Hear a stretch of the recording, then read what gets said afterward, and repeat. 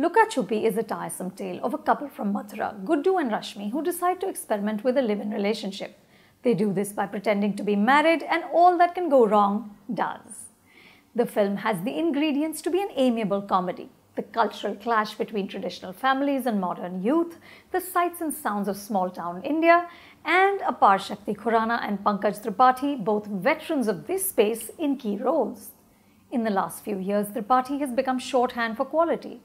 So, I knew we were in trouble when I saw him reduced to a buffoonish sidekick wearing outlandish clothes. An actor who needs a single scene to make an impact, remember Masan, is scrambling because he doesn't get one good line. Instead, he wears red and yellow pants. The writing by Rohan Shankar is consistently feeble. Scenes are stretched endlessly and the humor is limp.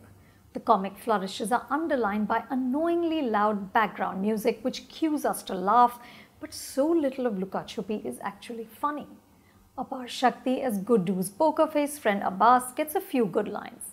I also enjoyed the warmth and wisdom of Alka Amin, who plays Guddu's bewildered but supportive mom. But there isn't enough spark in the writing, which is also the issue with the leads Kartik Aaryan and Kriti Sanon. Both are attractive and sincere. The script gives them a role reversal. So Rashmi is the dominant, more rebellious partner who suggests that they live in while Guddu is the shy and hesitant one. In a few scenes, Kartik manages to make Guddu's turmoil somewhat endearing, but neither is dazzling enough to camouflage the lazy writing. Director Laxman Utekar also ambitiously attempts to tack on a social angle. At the end, Guddu and Rashmi make some pertinent points about India being a young country and what the youth want is not moral policing and division but development and advancement. Which is a laudable sentiment, but it feels tacked on rather than organic to the film. Luka Chuppi features five remixes, which is a sign of the larger issue with this film.